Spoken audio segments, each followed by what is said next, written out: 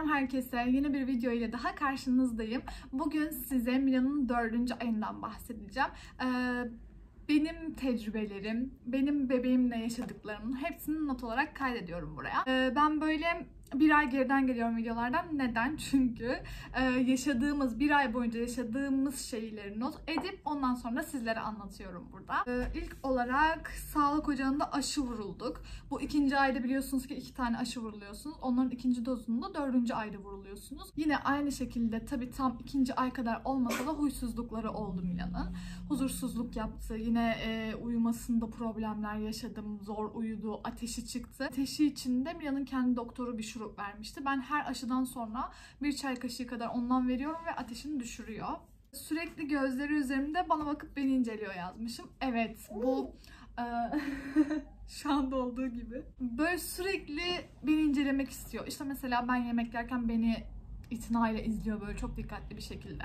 Ben bir şeyle uğraşırken beni izliyor. Sonra mesela atıyorum e, oyun oynayacağız birlikte yüz yüzeyiz, karşılıklıyız.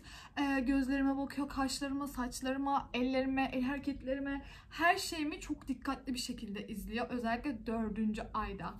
Onun dışında başka ne var?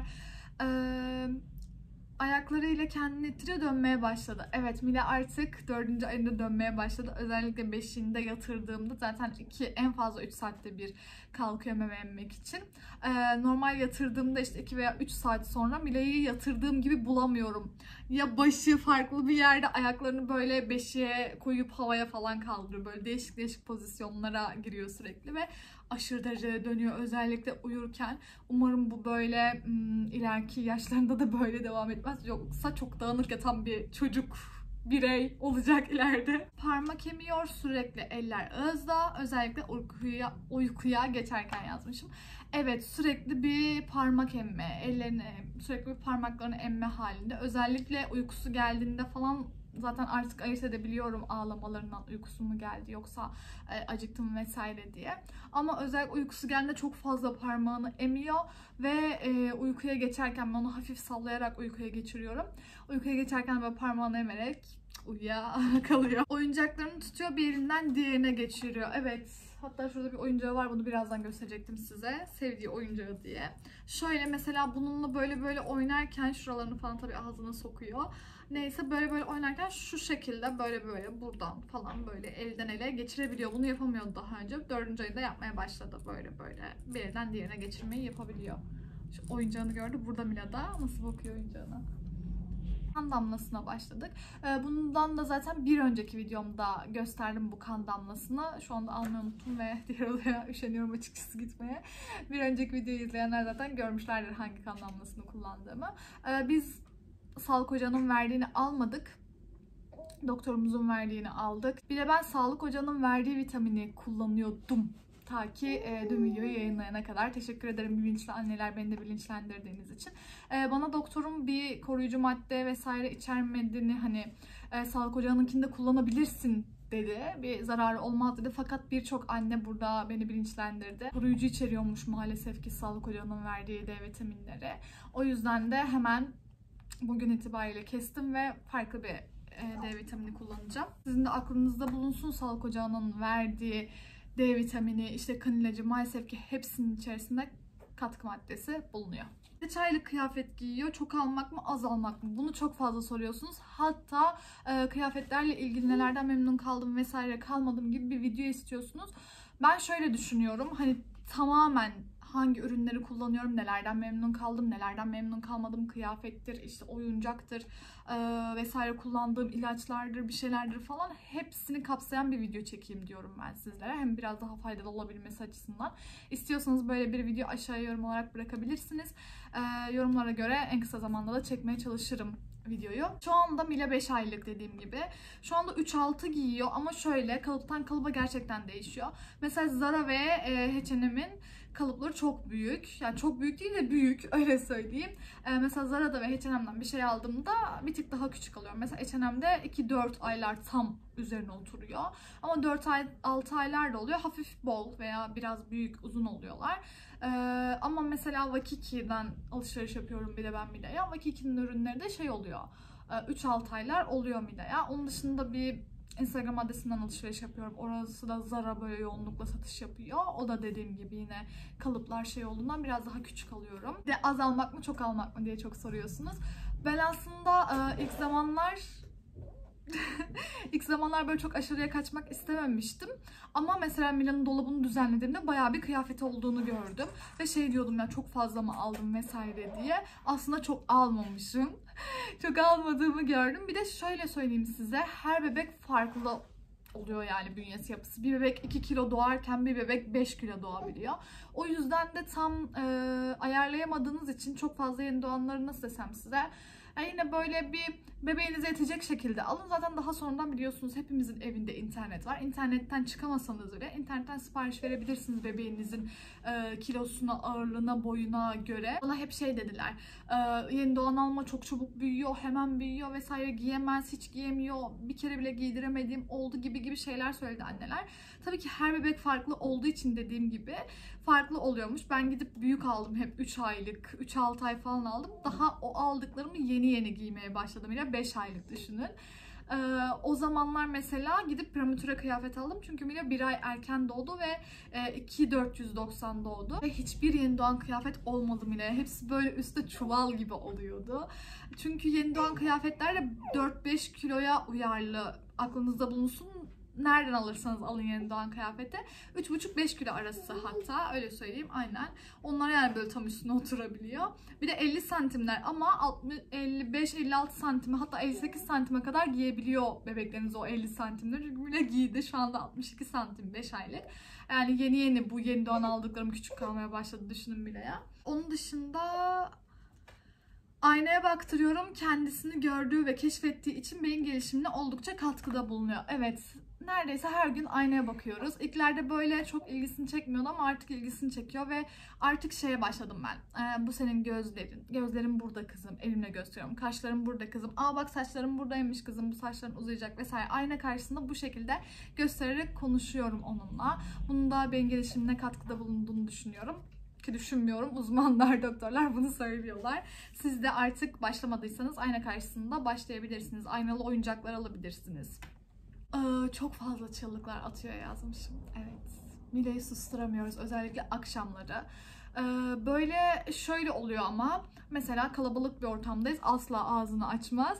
Ee, mesela Rıza ile tek başına kaldı eşimle. Tek başına kaldı. Vav vav vav çığlıklar anlatıyor böyle sürekli bir şeyler. Veya benimle tek başına kaldı. Sürekli anlatıyor bir şeyler.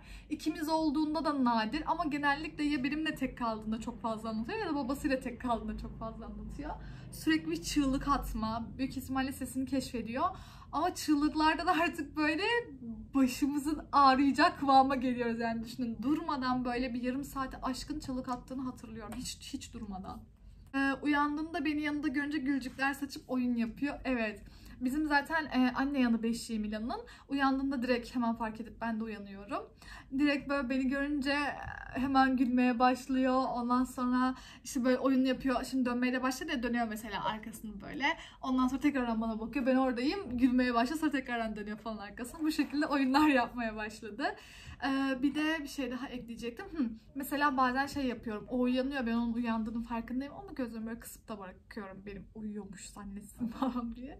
Neyse böyle kendi kendine bakıyor. Bana bakıyor. Beni inceliyor. Sonra etrafa bakıyor. Sesini çıkartmıyor. Bu sabahları neşeli olduğu vakit. Gözümü açtığım gibi direkt gülcükler saçılıyor. Ee, şöyle bir problem yaşıyoruz. Artık giymeyi hiç sevmiyor ya. Giydirirken ağladığı da oluyor. Çok fazla huysuzlandığı da oluyor.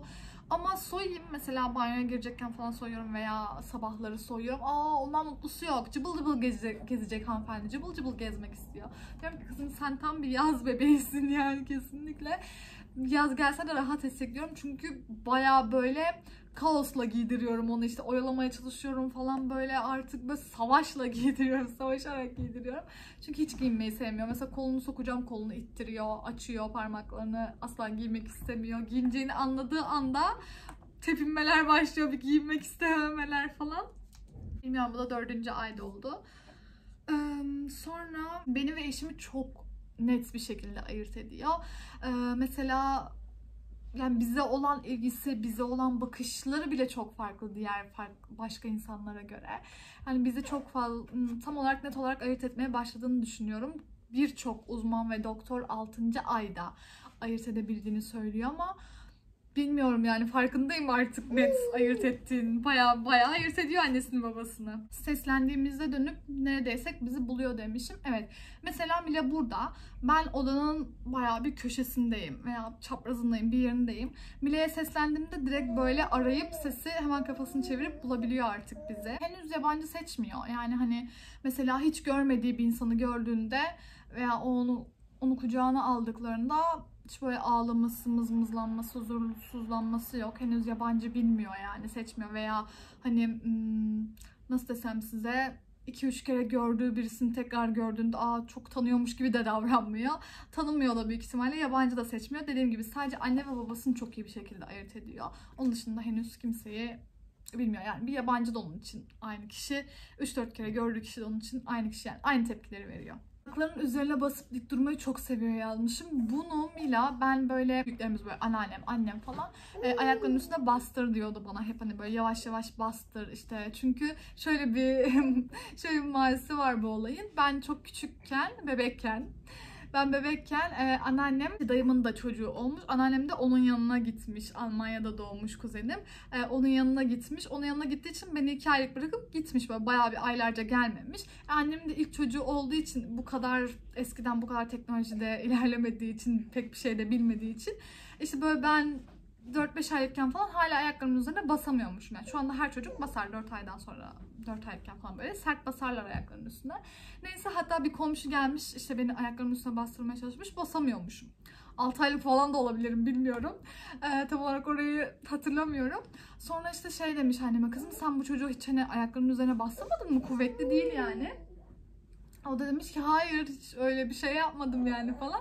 O yüzden bana hep böyle sürekli şey yapmışlardır yani hani sürekli söylemişlerdir bak ayaklarının üzerine bastır vesaire diye. Bu arada bile yine başladı çığlıklara. O yüzden de ben böyle iki aylıkken daha yavaş yavaş hani böyle dik tuttuğumda daha güzelce ayaklarının üzerine basabiliyordu. Tabii ki şu anda çok çok daha kuvvetli.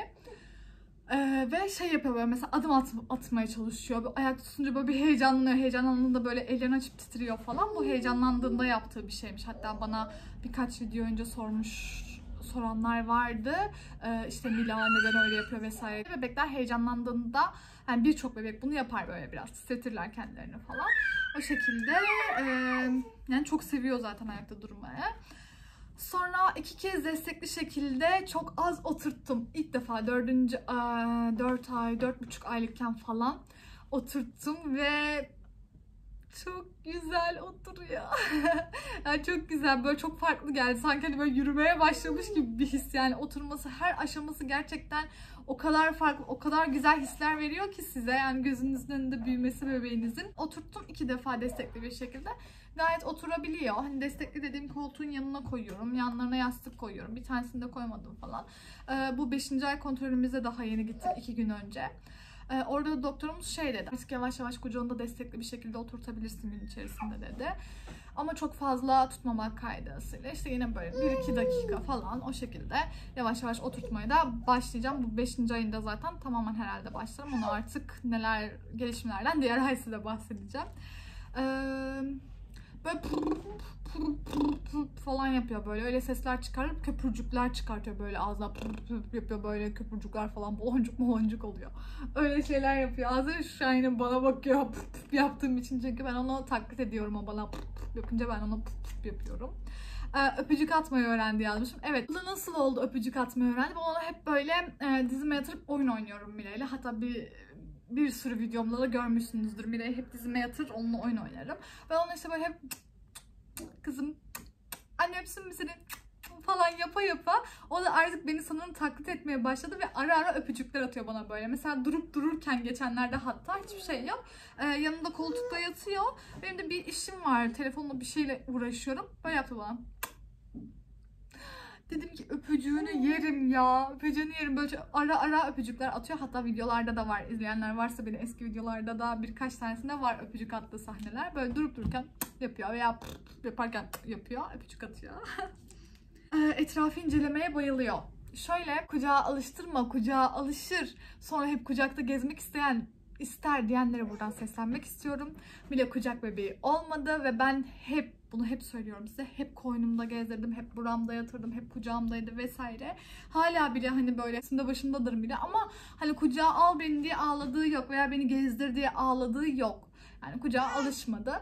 O yüzden söylüyorum eğer ki beni böyle anne olmamış kişiler izliyorsa, hamileler izliyorsa veya yeni bebeği doğmuş kişiler izliyorsa bebekler alışmaya dördüncü aylarından sonra başlıyor. Eğer ki hani bu aydan sonra ben sürekli Mira'yı kucağımda gezdirsem gezdirsem o ona alışır. Veya ağladığında sürekli hemen yalandan ağladığını biliyorum mesela. Gerçek ağlayışını biliyorum, yalan ağlayışını biliyorum. Çok, hani böyle kulis kucak isteyip ağlamıyor ama hani o yalandan ağladığında direkt kucağıma alıp gezdirsem buna alışır. Ama daha önce koynumda yatırıyorum diye, buramda uyutuyorum diye vesaire işte gezdiriyorum diye kucağa alışmaz arkadaşlar. Ben zaten bunun çok üzerine durmuştum. Hala da duruyorum. Yeni anne olacak kişiler ayırmayın bebeğinizi koynunuzdan. Bakın çok çabuk büyüyor, zaman çok çabuk geçiyor. Yani yetişemiyorsunuz ve ben hep diyorum ya hep koynumdaydı, hep omzumdaydı, hep bir üstümde başımdaydı. Ama hala diyorum keşke daha çok daha çok yani keşke daha çok zaman yaratsaymışım da hani daha çok böyle koynumda uyutsaymışım falan diyorum. O yüzden şey yapmayın yani olabildiğince kucağınızda dursun. Çünkü ilk yeni doğduğunda sizin kokunuza çok ihtiyacı var. Tüm bebekler çok masum. Hiç bırakmayın anneleri onun size çok ihtiyacı var anneleri çok çok. Oyuncağını tanıyor tepki veriyor burada gösterecektim boyunca. Buna bayılıyor arkadaşlar. Birazdan kucağıma alıp göstereceğim size nasıl tepkiler verdiğini. Buna gülcükler saçıyor. Bunu gördüğünde bakıyor ona. işte agular yapıyor. Ona sonra var var var konuşuyor bununla falan. Ben de şey yapıyorum artık. Bunu seslendiriyorum. Bu daha da çok hoşuna gitmeye başladı ve sesimi değiştirerek. Siz de yapabilirsiniz. Fikir olsun diye anlatıyorum bunları. İşte ben merhaba Mileciğim. Bugün nasılsın? İyi misin Mileciğim falan. Böyle daha böyle sesimi incelte incelte yapıyorum ve çok hoşuna gidiyor gerçekten. Şu anda da bakıyor. Ayaklarına bakmaya başladı demişim. Evet bu aralar böyle ayaklarını inceliyor. Özellikle mesela şey ayaklarının üzerine bastırıp yürüteceğim mesela hemen kafasını eğiyor, ayaklarını inceliyor falan. Veya mesela yatakta yatarken falan benim ayaklarımı görünce benim ayaklarıma bakıyor. Bu aralar bir ayaklarını sanırım tanıma aşamasında. O yüzden böyle sürekli ayaklarına bakıyor. Bu kadar yazmışım dördüncü ayda yaşadıklarımızı. Yani böyle dediğim gibi her yaşadığımı hemen böyle elimin altında yazmaya çalışıyorum hem bize burada bir anı olarak kalır. Belki ileride açıp açıp izlerim ağabeyim kızım neler yapmış vesaire vesaire diye. Hem de burada e, benden daha geride gelen annelere çok iyi tecrübeler oluyormuş. Bana yazıyorsunuz, teşekkürlerini iletiyorsunuz. Ben de sizlere teşekkürlerimi iletiyorum ve ben de burada sizlerden gerçekten çok şey öğrenmeye başladım. Yani birlikte böyle bilgi alışverişi yapmak burada çok güzel. Yani nasıl desem size böyle çocuğu büyümüş, böyle çok fazla bilgi sahibi olmayan insanlardan fikir almak yerine daha böyle bilinçli anneler, daha böyle işte çok araştıran anneler çok daha yardımcı oluyor. Bir de böyle bebeklerimiz yakın olan annelerle çok irtibattayız burada. Onlardan bilgi almak beni daha da bilmiyorum yani hani daha iyi geliyor bana. Çünkü artık şöyle bir şey tabii ki hani eskilerde bir sürü bebek büyütmüşler, bir sürü çocuk büyütmüşler. Onların hakkı asla ödenmez. Bizim annelerimiz de hatta annelerimizden eski nesillerde. Ama şimdiki nesil daha farklı. Önceki nesil daha farklıymış. Yani atıyorum şekerli su ver diyor çocuğa. Hani nasıl ya? Atıyorum işte bir büyüğüm diyor ki şekerli su ver çocuğa e, neydi tatlı dilli olsunmuş bir şeymiş falan filan böyle. Hani o kadar zararlı ki şeker ya şeker yani. Mesela bunun ben bilincindeyim çok zararlı olduğunu. Ama önceden bilmiyorlarmış. Bir işte uydurmuş herhalde. Şekerli su ver tatlı olsun. Anneler şekerli su veriyorlarmış. Ee, veya mesela şey çok duyuyorum. Rezene falan veriliyor bebeklere. Ee, doktorunuza danışmadan gaz bebeklere veriliyor. Ve şekerli rezin, şeker koyup da rezene verenleri duydum. Lütfen doktorunuza danışmadan vermeyin. Çünkü bizim sindirim sistemimizle bebeğin sindirim sistemi o kadar farklı ki bir de şimdiki nesil bebeklerin hepsi alerjik bebek. Zaten birçoğunuzun bebeği belki de alerjiktir. Hani süt alerjisi olan var, farklı bir gıdaya alerjisi olan var, yumurtaya alerjisi olan vesaire vesaire. Tüm bebekler alerjik neredeyse. O yüzden lütfen çok dikkat edin. Yani şu anda bir şey olmaz. Evet şu anda içerirsin rezeneyi. Ee, belki hemen tepki verebilir. Belki de şimdi tepki vermez. Ama ileride sindirim sisteminde bir sıkıntı çıkar. Yani illaki bir sıkıntı çıkar ileriki dönemlerinde falan. O yüzden lütfen rica ediyorum anneler çok dikkat edin. Bakın hepimiz artık araştırabiliyoruz. Artık her şeye çok yakınız. Doktorlarımıza sorup cevap alabiliyoruz. Hani en kötü tamam şey diyenler var bana işte ya Müge araştıramıyorum, kitap okuyamıyorum. Zamanım yok. Benim de yok. Gerçekten yok. Mile uyurken kendi uykumdan ödün verip bazen kitaplar okuyorum, araştırıyorum, videolar izliyorum, uzmanları izliyorum, makaleler okuyorum vesaire. Veya burada hani ulaşabildiğim böyle bilinçli anneleri dinlemeye çalışıyorum. Çok fazla da bulamıyorum. Varsa hani izlediğiniz falan bana yine link bırakın. Ben de bir bakayım izleyeyim boş bulduğum zamanlarda. Hani böyle eskilerin yöntemi oymuş. Bizim yöntemimiz daha farklı. Herkes şimdi daha bilinçli olduğu için lütfen rica ediyorum bebeklerinize iyilik yapacağınızı zannediyorsunuz. Tabii ki her anne bebeğine her anne bebeği için en iyisini, en güzelini düşünür. Ama lütfen hiç araştırmaktan ziyade evet araştırırken bazen çok farklı yerlerde götürebiliyor sizi. Araştırmalar, makaleler vesaire vesaire her doktor farklı bir şey falan söylemiş olabiliyor. O yüzden hani araştırmak istemiyorsanız da en şey doktorunuza danışın. Hani ben işte bu şekilde ben buna bunu ver dedi bir büyüğüm vereyim mi ki doktorunuz size kızar böyle şeylerle çok kızıyor doktorlar. Ee, o yüzden en kötü doktorunuza danışın diyorum. Lütfen kendi kafanıza göre veya eskilerin yaptığına göre bir şeyler yapmayın. Bebeklerimizi düşünelim ki her anne bebeğine çok güzel bir şekilde düşünür. Şimdi ben bileği alıp videoyu kapatacağım. Benim bebeğim geldi. Benim bebeğim geldi. Benim bebeğim geldi. Aşkım. Annem. Hmm, annem canım. Aa saç çekmeyi unutmuş muyum acaba? Eklememişim evet. Mile yaklaşık 3. ayından beri saç çekiyor. Tabii şimdi çok daha fazla kuvvetlendi ve güçlendi. O yüzden tuttuğunu bırakmıyor. Ve böyle nadir salıyorum yani saçlarımı. Genelde toplamak zorunda kalıyorum mecburen. Mile sürekli çektiği için. De size şey demiştim. Oyuncağını göstereceğim demiştim. Nasıl tepki veriyor. Merhaba Mile'cim. Nasılsın bugün? İyi misin Mila? Ben çok iyiyim beni sorarsan. İyi misin Mila? Seni birazcık sevmek isterim Mila. Seni birazcık sevmek istiyorum. Hemen bakın bakın. Çok seviyor, onu öpüyor, ona sarılıyor. Evet Mila'cığım değil mi? Biz birbirimizi çok seviyoruz. Ben senin en sevdiğin oyuncağım. Şu an ilgisi orada yalnız. O yüzden tam şey yapamadı. Merhaba Mila'cığım ben seni çok seviyorum. Sen de beni seviyor musun Mila? Evet mi? Hadi beni tut, hadi beni sarıl, öp bana. Beni öp. Ay anneciğim saçım, saçım. Hayır. Hadi sarıl hadi bebeğine. Oyuncağına. Ellerini tut anneciğim. Tutabiliyorsun, tut.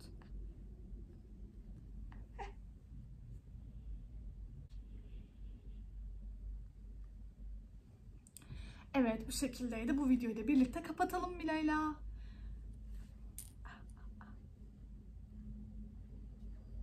Hadi videoyu kapatalım mı? Ne dersin? Çok mu özledin oyuncağını? Bu arada beni de böyle öpüyor. Oyuncağını öptüğü gibi. Böyle mesela kucağıma aldığımda falan atıyorum biraz benim işim var ve ana kucağında fazla vakit geçirdi. Hemen böyle ben alınca veya babasıyla falan vakit geçirdi fazla. Hemen ben onu alınca yanağıma yapışıyor böyle falan yapıyor böyle aynı oyuncağına yaptığı gibi. Tamam tamam hadi bunu bırakalım. Şimdi videoyu kapatalım. Bizi izlediğiniz için teşekkür ederiz. Bir dahaki videolarda görüşmek üzere. Umarım bu videoda size faydalı olmuştur. Siz de e, yaşadığınız, benim yaşamadığım, benim atladığım bir şeyler varsa veya bir tavsiye veya bir tavsiyeleriniz falan varsa gönül kulağıyla dinliyorum sizi. Lütfen yorumlarda benimle paylaşın. Bir dahaki videolarda görüşmek üzere. Ah öptük. Hoşçakalın.